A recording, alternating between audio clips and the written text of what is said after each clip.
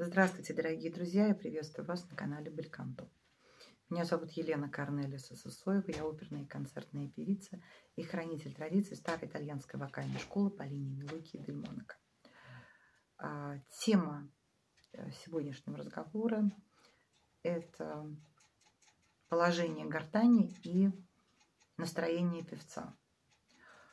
А, очень часто слышу э, такое мнение, что если я поплачу, это говорит певица, то э, я лучше пою, э, и вообще нужно петь на стоне, и все такое, вот про грусть, печаль и так далее. Я с этим не согласна. Э, почему многие педагоги хотят, чтобы человек был расстроен, плакал, певец, да, обучающийся? Потому что тогда гортань понижается. Э, но она может понижаться и без негативных эмоций. Для этого нужно просто начинать э, низко распеваться сначала. Да?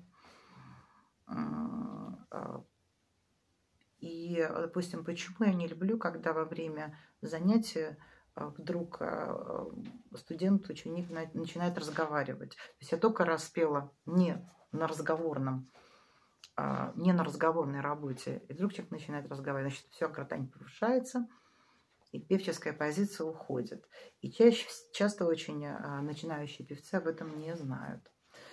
А, теперь еще интересный момент по поводу настроения и гортани. Внимание, оно всегда серьезно на самом деле. Если при распев... в распевках формируется правильное внимание, то у вас есть внутренняя серьезность. Она не обязательно грустная, совершенно нет. Она, наоборот, такая светлая и серьезная одновременно. Но если человек начинает, начинает например, смеяться, то опять повышается гортань. А, и если это знать, то, в принципе, можно и улыбнуться, и посмеяться, можно и, а, а, скажем так, что-то сказать мне или там коллеге, или поговорить с кем-то, а потом опять продолжить пение. Или с дирижером поговорить. Но понимая, что вот я поговорила, сейчас вот э, правильное внимание должно быть воспитано. Поэтому я против э, слез. И я знаю, как тяжело из состояния э, глубокой такой внутренней травмы выходить в пение. Да, когда умер мой муж, то я плакала буквально три недели подряд. Мне нужно уже выступать. Вот, вот уж сейчас через буквально 10 дней у меня э, на радио, да, прямой эфир. И я себе запретила плакать.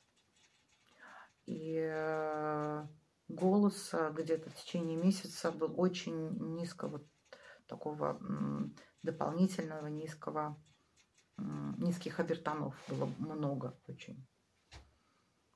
Э, как бы я немножко не узнавала голос чуть-чуть для себя.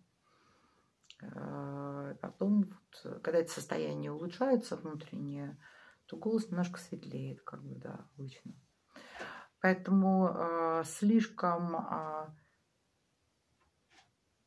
Э, тяжелые эмоции, они, да, понижают гортань, но они не добавляют красоты в голосе, я считаю. Поэтому э, для внутреннего здоровья необходимо быть, уметь быть правильно серьезным, и в этот момент опускается гортань. И еще она опускается, гортань опускается не только когда человек плачет, и грустит. А когда он низко начинает распевку, да, допустим, э, сопрано си бикар малой октавы, да, э, там, тенор с до или ре малой октавы, э, бас от соль большой октавы распевается, у него будет правильная гортань. Э, берегите свои духовные и душевные силы. Э, всегда можно найти выход из любой сложной ситуации. Всего доброго, до свидания.